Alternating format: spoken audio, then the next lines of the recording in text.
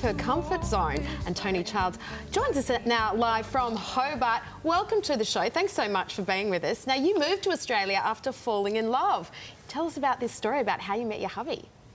Well, I met Mick on a plane on a flight to uh, to Melbourne uh, to begin a tour, and the plane was struck by lightning. Oh.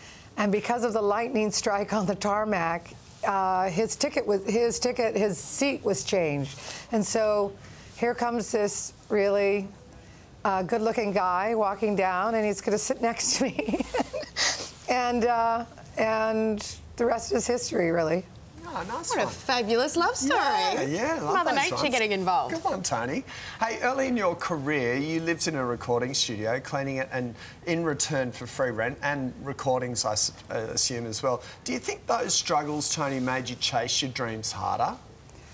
I think that was a really great opportunity for me. I moved to London and I wanted to become, I wanted to hone my craft. And I knew the owner of the studio and I learned how to be a tape op. And I got to sing on lots of really amazing uh, albums. I met uh, David Rhodes there, who became the guitar player for Peter Gabriel. And and I got to sing and write with different musicians there, and it was just really an incredible time. And um, so it was about, you know, I think we need that those times, and I had people believing in me.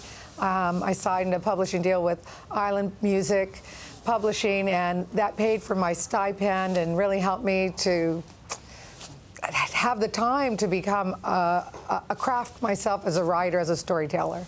Right. Toni, you've had so much success uh, in this country with, with your singles and also uh, your records, but now you've got a couple of projects that are really putting you outside your comfort zone. Tell us about those. Well, I have a new album uh, called It's All a Beautiful Noise. It's a 3D mapping uh, show. I'm also an, uh, an installation artist, and as a part of this, I'm, I'm working out of a, uh, 126 year old paper mill that's just makes it makes paper products now, and I'm making life-size animals out of recycled paper. It's also a part component of a part of a of a show that lasts four months, believe it or not, and uh, it's a very unique uh, traveling contemporary art experience, but it's music driven. And in fact, I got to showcase some of the music last night at the concert here at uh, the uh, Royal Theatre here in Hobart.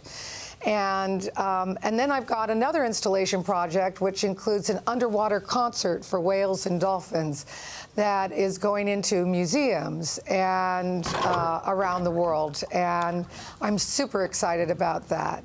We did a test run last year and got to test out. Uh, yes, you're seeing some of it. I see here, which is really great.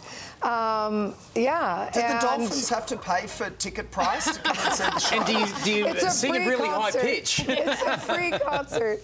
Yeah, it's it's it's also a way that we can generate support for. Um, for really saving the Great Barrier Reef. Yeah. And there are some wonderful things that can be done to stop the sediment from going in and acidifying uh, the reef system. And it's critical now that we do something. And so this is my sort of call out because the reefs around the planet have the same problems and we can turn it. Yes. And so I wanted to do something that would contribute to that. Thank you so much, Toni. It's been so fabulous having you on the show. I feel like your songs were the soundtrack of my um, teenage years. Now, for dates and details about Toni Child's upcoming best of shows, just head over to our website.